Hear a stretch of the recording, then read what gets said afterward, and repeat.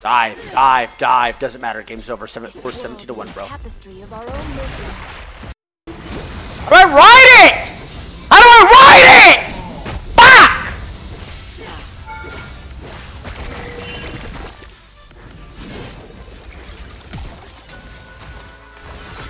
You have been slain. Pressed R twice. Oh, so you have to double tap R to write it. How stupid is that? Why wouldn't you just press R and then press R again to get off?